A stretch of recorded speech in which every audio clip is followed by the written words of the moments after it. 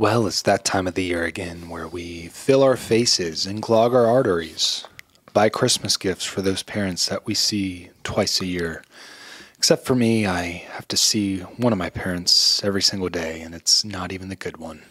And now, that financial guy with Keith and Jack Wilson, spreading a wealth of information. All right, welcome back to That Financial Guy podcast. I'm Jack Wilson. I am Keith Wilson. And today we have put together an end of year planning checklist. Isn't that fun?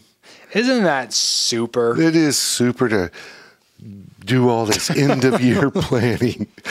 But uh, a lot of people think about end of year planning. It's just you know planning for taxes, and it's really more than that because we got a, we've got a hard deadline coming up, Yeah. December thirty first, and we didn't do an exhaustive list, but something that we want to bring to your attention that there are certain things you need to do before December thirty first to take advantages of opportunities. Some Yeah. of it has to do with taxes. So, yep, we got a checklist. We're going to check it twice.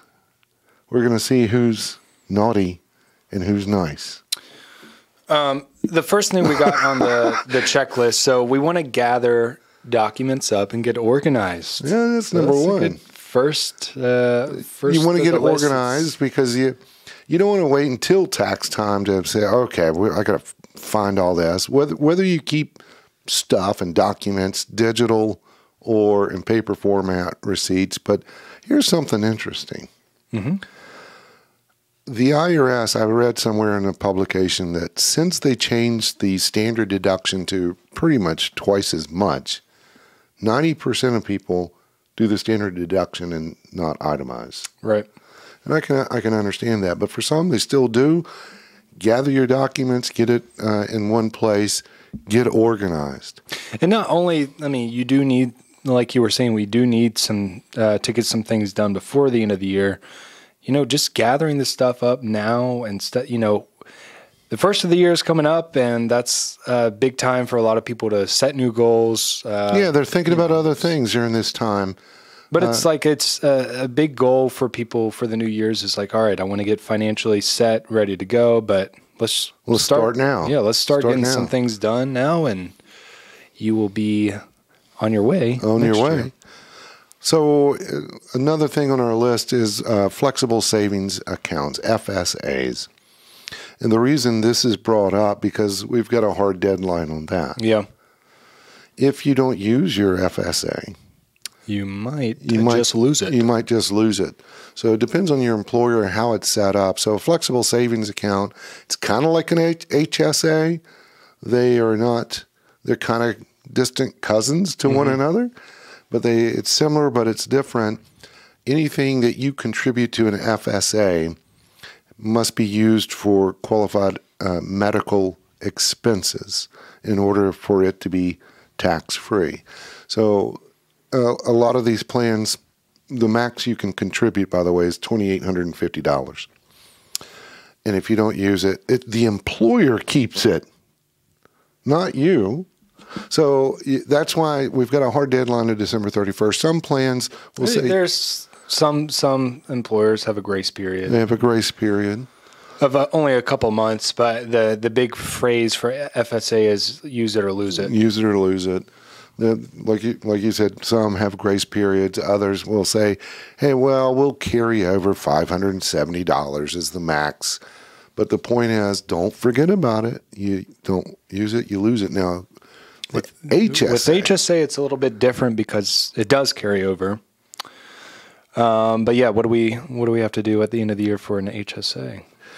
Well, you just want to make sure you're contributing to the max. uh, It might be a good time to look at Look at- investing. Are, are you contributing to the max, which is thirty six hundred and fifty dollars for an Right. individual, seventy three hundred dollars for a family? If you're over fifty five, then you can contribute uh, an additional one thousand dollars. But you touched on it.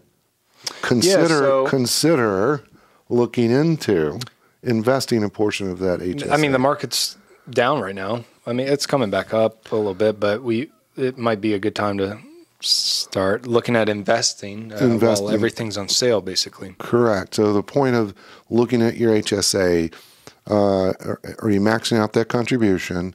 consider looking at the investment options. Get with your uh, financial institution and see what's And another thing there. about uh, the difference with HSA and FSA is like you're you're actually the owner, yeah, the account. So FSA you're not, HSA you are. So yeah, you, it's not a use it or lose it uh, situation, and if you left that employer, you take it with you, so it's Right. your, yours. So again, to to to be eligible for tax free going in, you got to use it for eligible medical expenses. So continuing on the same train, now we get into health insurance. Why is that important to look at this time of the year?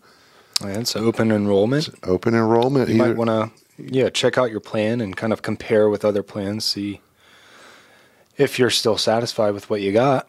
Well, and a lot of times they'll send you the paperwork that says, okay, here's your current plan.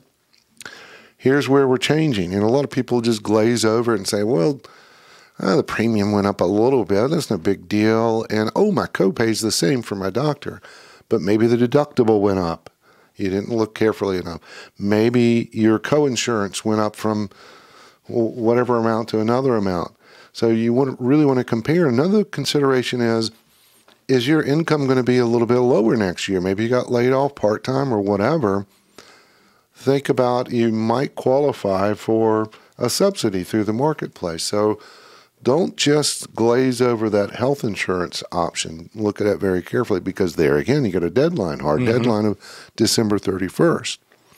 Then we get into the investment side of things, of what to look for, what to do before the end yeah. of the year. So we, I mean, we got tax loss harvesting. Uh, that's a uh, usually a, a big part of the end of the year. Um, definitely for us. Exactly, because we, as you said, we're doing this a lot right now. This is the time of the year to, all right, do we, if we sold something for a gain, then we got to look at something for a loss to offset it. That's one idea. You got to watch out for the wash sale rule, which is if you sold, let's say you did sell something for a loss, because, okay, I like this security, mutual fund, whatever, um, but it's down. I'm going to go ahead and take a loss on it so I can write it off on my taxes, which you can only write off $3,000 in a year, but what's left over is carried over for years to come.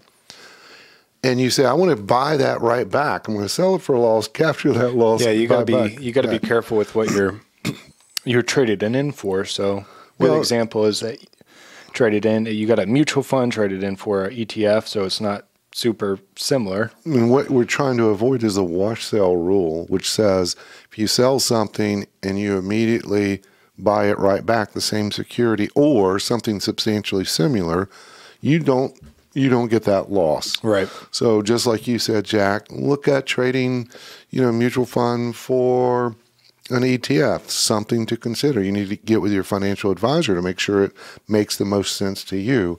But this is the time of the year we really look at that so we can capture some of these losses. But you got to be careful of the wash sale rule. And to go along with that is capital gains distribution. I should back up and say that tax loss harvesting I is, think for non-retirement is for non-retirement About accounts. Butt in there, but yeah, capital gains distribution again for non-retirement, non-retirement accounts. accounts. So any capital gain you would have if you sold something you, for a loss in an IRA, you can't write it off. right. But non-retirement accounts, capital gains distribution is the other. That pertains to mutual funds. So again, in a non-retirement account, uh, let's say you don't sell a mutual fund, but it's down for the year, and you, maybe you just got it earlier in the year, and it's down just like everything else you could have a capital gains distribution, meaning that money manager bought some stock 20 years ago Yeah. that is highly appreciated, but still it's come down a little bit, but it's appreciated from the time they purchased it. They sell it. That gain is passed on to the investors. So that's a slap in the face because you're going to, you're down for the year in let it XYZ mutual yeah, fund. don't let it deceive you. Here's the key. They usually pay these capital gains distributions in December. So number one, and this again, non-retirement account, check uh, with that mutual fund company and say you can go online and it's right there. They post it. They it's public. And say, okay, here are the capital gains distributions that we anticipate for XYZ fund. And man, maybe one of them's got 20 or 30% Right. distribution.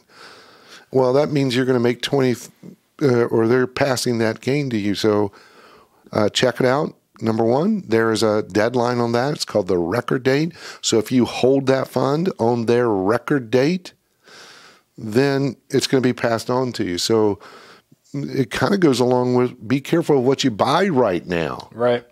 right now, check out that capital gains distribution. So you check with your tax advisor again on this to see where you stand on taxes for that. Check with your financial advisor if you want to call us. Uh, we'll be happy to help you out looking into that. So, retirement accounts. Now we want to talk about retirement accounts.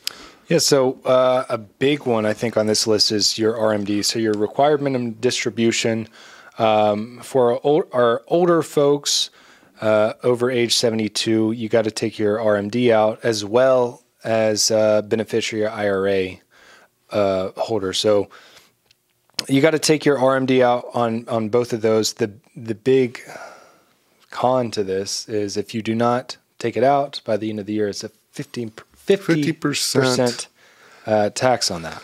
penalty, excise tax, whatever you want to call it. So that's why it's very important. You got that hard deadline of December Yeah. 31st. If you're 72 or over, or like you said, a beneficiary IRA, you could be whatever, 20 years old. It doesn't matter. If you in, if you inherited an IRA from uh, uh, a, a, a Mom and dad or grandma, grandpa, whatever, each year you got to take a RMD out. So make sure that RMD has been taken out. So that kind of slides into what we call a QCD. yeah, so this goes hand in hand. QCD. I'm getting a little punchy. Sorry.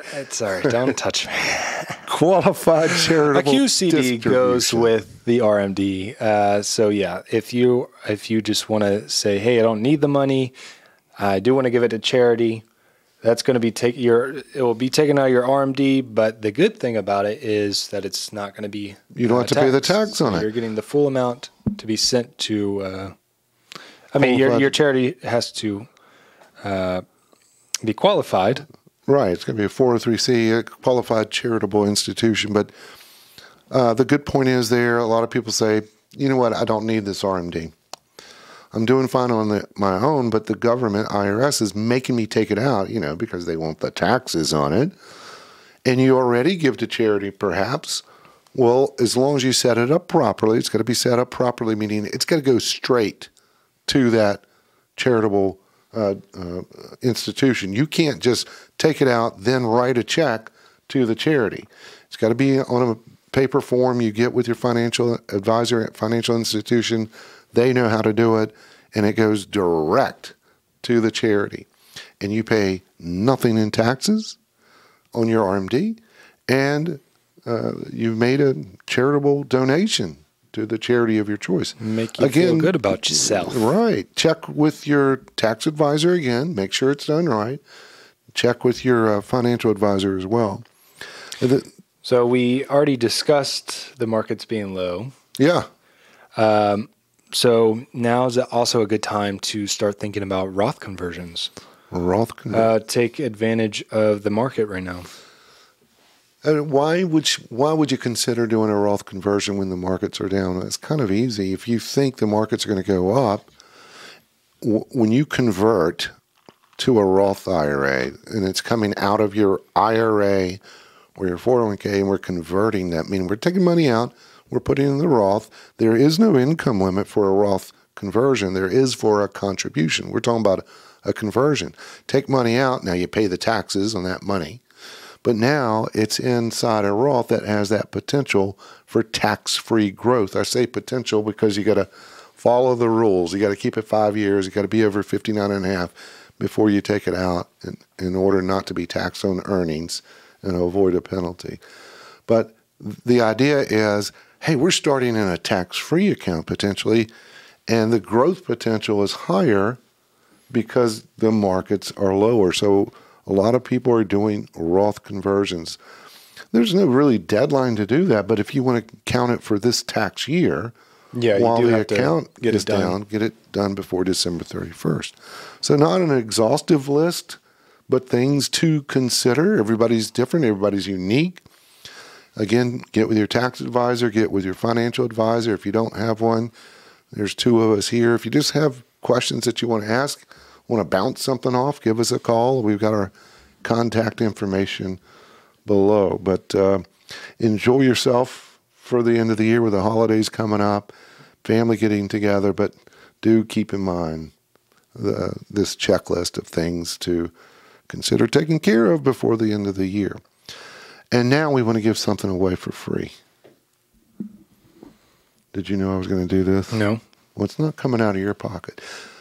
Folks, did you know that you could subscribe to this channel for free? It's, it doesn't cost anything. You should definitely do that. I say that tongue in cheek, but um, yeah, please, if you f- have uh, found value in uh, this video or this podcast that you're listening to, please follow us on the podcast, give us a thumbs up, rate us, uh, uh, subscribe to this channel, thumbs up, things like that. That Do all that good stuff. do all that stuff. Uh, it does help the algorithm, so we can continue to spread the wealth of information. Peace. Thank you for joining us on That Financial Guy.